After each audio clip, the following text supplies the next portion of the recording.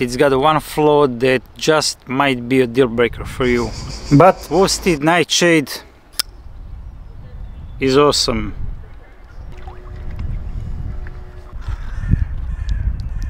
This last sentence pretty much sums up this review, but don't go away yet because I'll tell you why exactly I love this knife.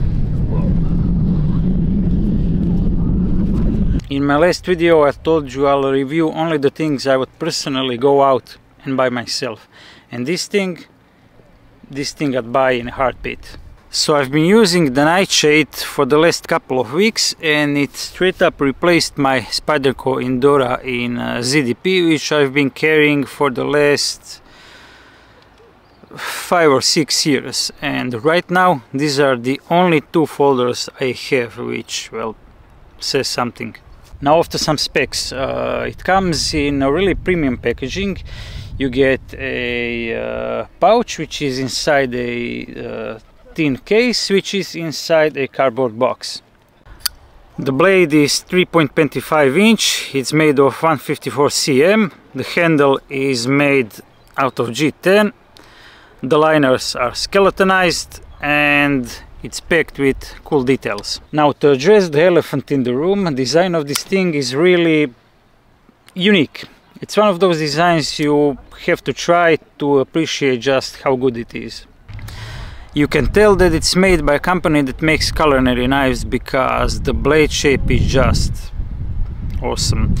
The blade is ground really thin, it's got a rounded spine, it's got jimping that is just mm, perfect. Uh, you can feel it, but it doesn't scrape your thumb. It's definitely not one of those sharpened pry bars many companies make. And that crazy blade shape is just awesome for cutting things and uh, fruit prep it just I don't know it's something about the blade shape they just it wants to cut it really wants to cut the handle on this thing is nice and thick and actually feels like a knife and not like a Benchmade bug out which is a great knife but I just never could get used to it being so thin and lightweight now back to the Nightshade. It's got a skeletonized liners and it's a liner lock which engages at about one third of the blade.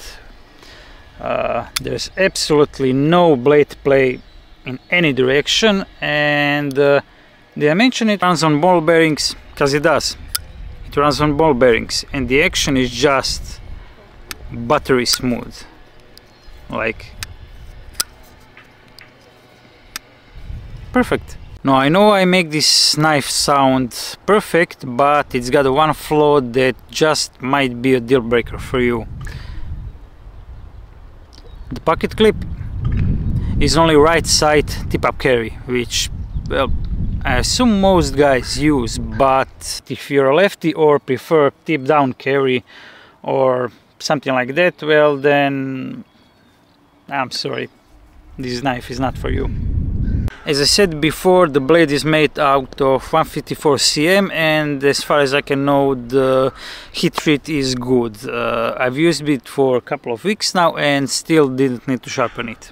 And that pretty much sums it up. It's a really uniquely looking knife with awesome features and I love using it. So that's it for this video. Thanks for watching and I'll see you next time. Stay frosty my friends. Cheers.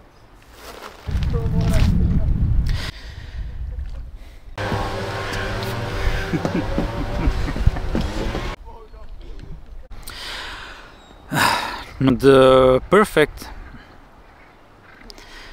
Now I know I'm. Now I know. Now I know this might. Now I know this. Uh, now I know. uh, the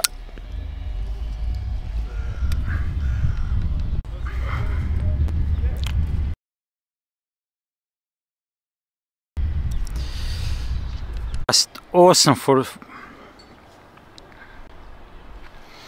and that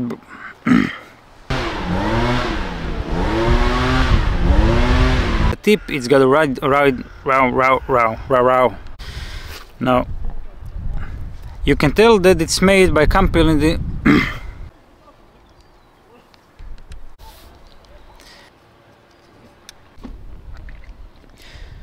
now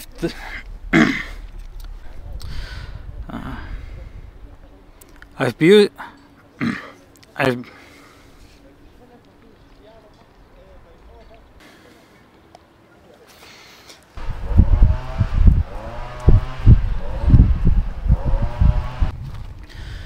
in my last review